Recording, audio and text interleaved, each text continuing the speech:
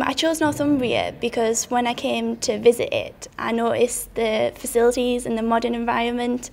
I like to study in modern rather than traditional, so for me it was really where I wanted to be. The new design school is absolutely amazing. Like they've invested so much money into it, and like the facilities are fantastic. All the buildings are really new. We've got a new business and law building, which was like a hundred million pound built from the old Warner Brothers cinema. The rehearsal spaces and getting access to cameras and things like that and a great costume department. We have a student law office, we have a court room and the lecture halls are really big and modern so it's, it's really good place to be.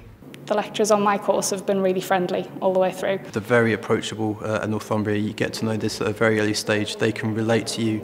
If I've had a problem, they've been able to answer my questions quickly. Um, I've never really had to ask for anything twice. You can go and see them and you can go and talk about anything from personal life to things on the course that you might not be finding uh, as easy as what you want to. Being a student in Newcastle is absolutely amazing. Like everyone knows that the nightlife is brilliant. It's just an absolutely brilliant city, so lively. The quayside's fantastic. Everyone will know the Sage and the bridges. And it's particularly great for a performance student with all the performance spaces they have, like the Theatre Royal, the Live Theatre, Northern Stage.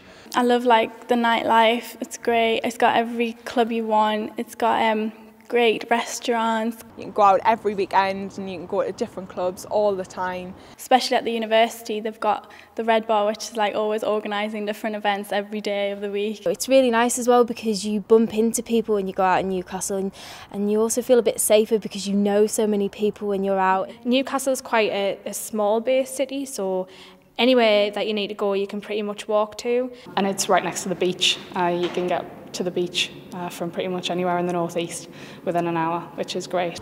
It's just a lovely place to be and lovely people as well.